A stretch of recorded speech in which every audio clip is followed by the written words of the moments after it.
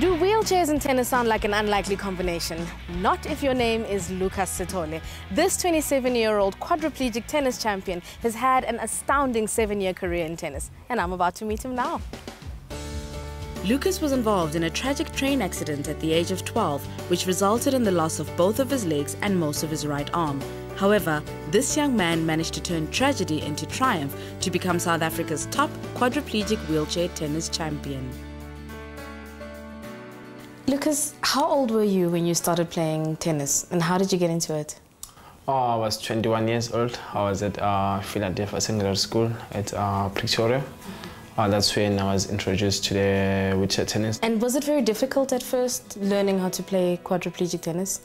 Yes, it took me like two, three years to get it right uh, because I'm using one hand, so I have to push with the racket on my hand mm -hmm. and also to align my chair for the ball mm -hmm. to, to hit it uh, to hit it where I want it to. So it was difficult. And at what point did you actually get to a point where you realized, you know what, I can do this, I'm good at this? Oh, it was 2008 when I was representing South Africa in the Team Cup at uh, Italy, when I won my Polish Open uh, at Poland. So from there, then I, I, told myself, I said, okay, you know, Lucas, this is the, the sport you need to play. And Then I started to put my head on it. Then since then, I'm still keeping pushing. And not a lot of people know that you actually won the British and US Open. What did that feel like? Uh, I didn't believe um, at first when I won the British Open mm -hmm. that I've beaten the world number one in the final. Wow. Then it was like a wow thing to me. Mm -hmm. But I didn't stop and then I went to USA uh, for US Open. Mm -hmm. Then I beat him again on the finals. Then, but then I, I couldn't believe also at that time until I landed to South Africa. And then when the people that were there at the airport shouting my name and screaming, wow. putting up my poster, and then I said, oh, okay, now I already won it. Did you make a conscious choice to make tennis your life?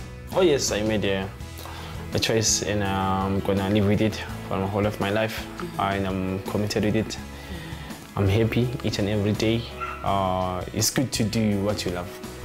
Uh, I also still uh, go out with friends, but I have limits mm -hmm. on what I do because I spend a lot of time on uh, writing music and playing tennis. Wow. So you write music as well?